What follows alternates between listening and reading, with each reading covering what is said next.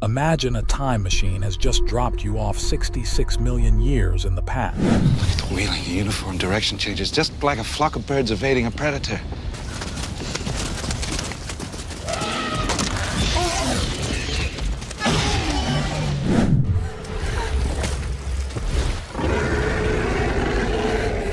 Six million years in the past.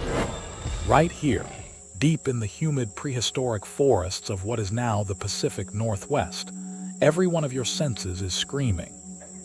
The ground beneath your feet starts to tremble, just slightly but steadily, like a massive truck rumbling closer and closer. Don't count on this being a rare encounter. If you're wandering these woods at this time, there's a good chance you'll run into it.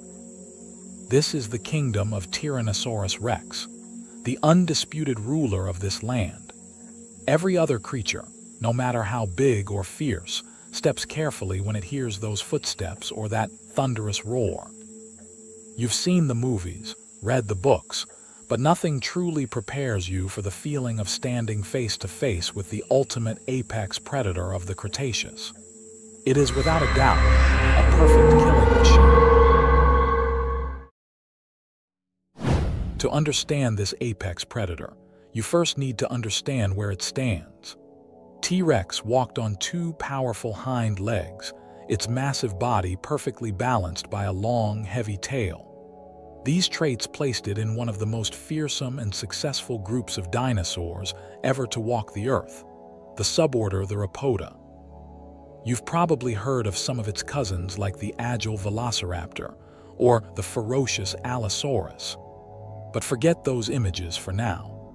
Compared to the beast you're picturing, they're more like wolves standing next to a heavily armed grizzly bear. T-Rex belonged to the royal bloodline of meat-eaters, the family Tyrannosauridae. And the creature you're staring down right now is the final, most glorious chapter of the genus Tyrannosaurus. Its ancestors may have been much smaller, faster and reliant on cunning and speed to hunt. But over millions of years, evolution forged them into giants, stronger, more powerful, and perfectly adapted to dominate their prey. Now try to stay on your feet. Can you truly grasp the scale of the thing shaking the ground beneath you? Forget the biggest elephants you've ever seen at the zoo. Forget those massive shipping containers on the highway. Next to this beast, they're nothing but toys.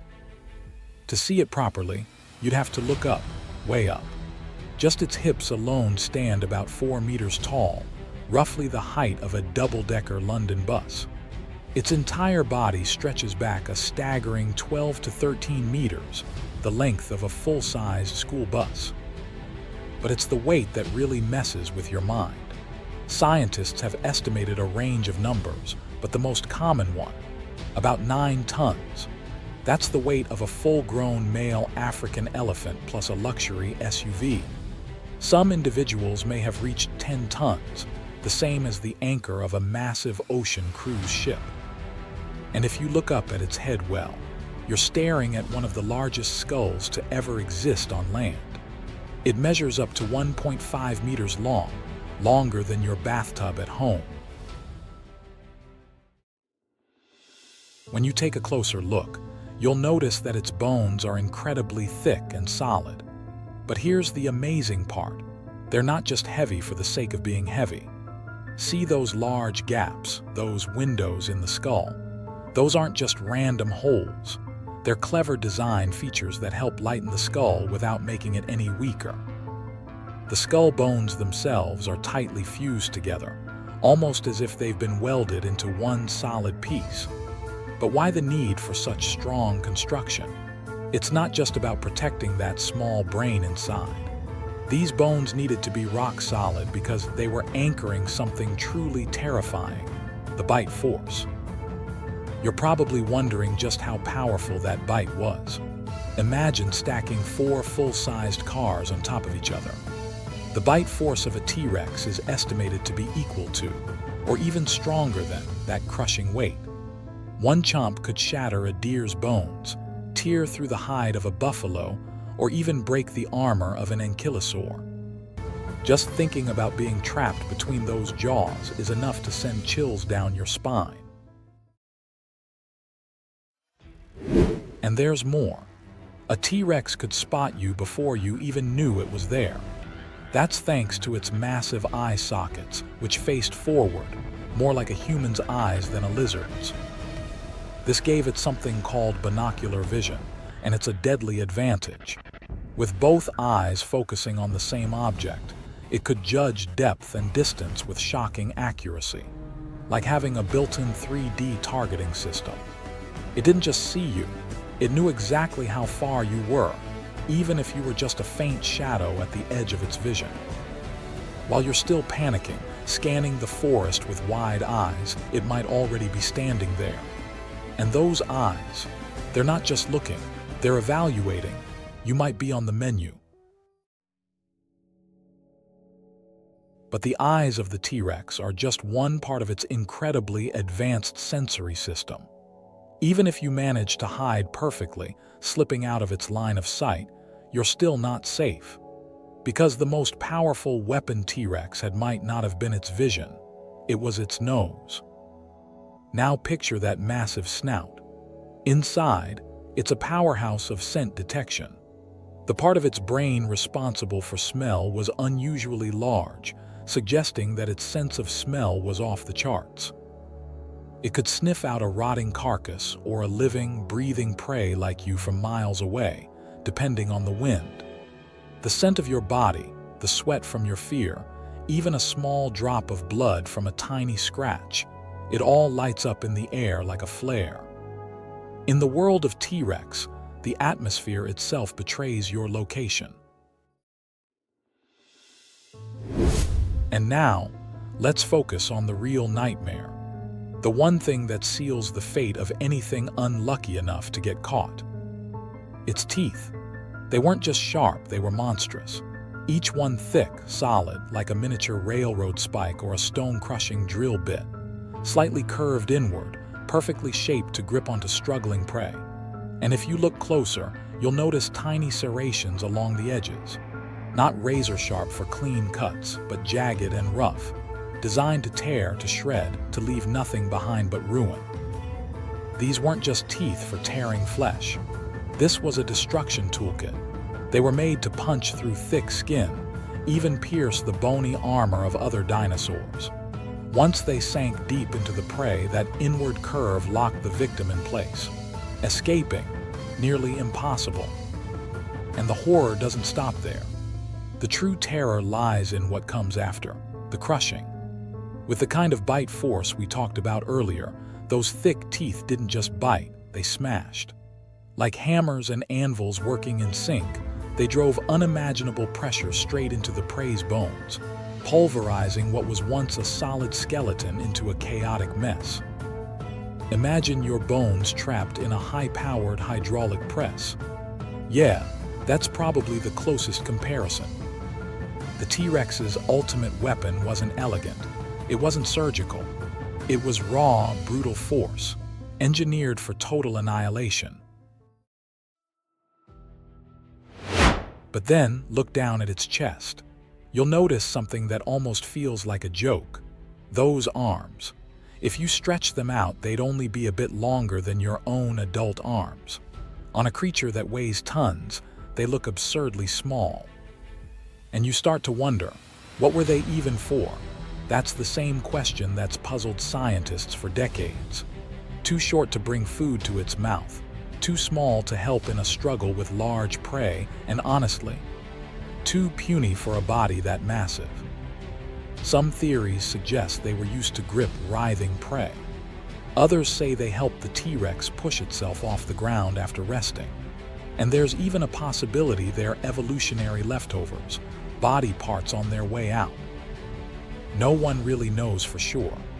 It remains one of the biggest and funniest mysteries, the contrast between its overwhelming power and those tiny, useless-looking arms. But then, as your eyes move even lower, all that confusion fades, replaced by pure awe. Because here's where the real power lies. The hind legs, the legs of a T-Rex, are in a league of their own. massive, solid, and built like ancient pillars holding up a stone bridge.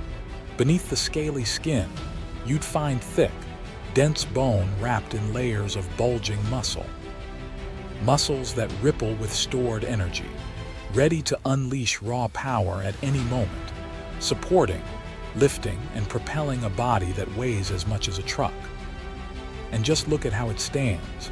Unlike us, T-Rex doesn't plant its whole foot flat on the ground. It walks on its toes, what scientists call digitigrade posture, just like a giant bird. Three thick toes, each armed with a large claw, are its main points of contact with the earth. They're not just for walking. These toes carry the full weight of a nine-ton beast and still let it move with terrifying speed and balance. By now, you've seen the raw power, the size, and the terrifying weapons of the T-Rex, like something built for destruction. It's the image that movies have burned into our minds, a perfect killing machine. But real science is rarely that simple. And the truth about T-Rex, it's way more complex. For years, paleontologists have been locked in a heated debate. Was T-Rex truly the fearsome apex predator we imagine or just a giant scavenger, a prehistoric vulture of the Cretaceous. Let's look at the case for an active hunter first. Remember its sharp forward-facing eyes with binocular vision. That's a trait seen in predators. It helps track and judge the distance to moving targets. And its powerful body and massive, pillar-like legs, perfect for chasing and taking down struggling, dangerous prey but the strongest evidence. Fossilized bones of dinosaurs like Edmontosaurus and Triceratops have been found with T-Rex bite marks, and those bones healed. That means the dinosaurs were still alive when attacked. They survived the first assault. And that tells us, almost without a doubt, T-Rex went after live prey. Looking at those scars, you can almost picture the brutal life-or-death struggle that once took place. But just when you're convinced it was a ruthless predator, other clues tell a different story. Its super-sensitive sense of smell. That's something we often see in scavengers. Do you really need such a powerful nose to chase down prey? And then there are the teeth. Thick, crushing teeth that were great not just for biting but for breaking bones, especially to get at the fatty, nutritious marrow inside. That's something we see in scavengers too. Most specialized hunters have sharper, slicing teeth for tearing flesh. So which is it, a hunter, a scavenger? The answer might be both. Just like many large predators today, T-Rex was probably an opportunistic predator. It had the strength, speed, and tools to hunt and kill, especially larger or weaker animals. But it was also smart and practical. If it could find an easy meal in a carcass left lying in the sun, it wouldn't pass that up. After all, in a world as wild and dangerous as the late Cretaceous, survival meant taking every chance you got. If you're picturing a T-Rex zipping around like a tornado, as some movies might have you believe, well, let's clear that up.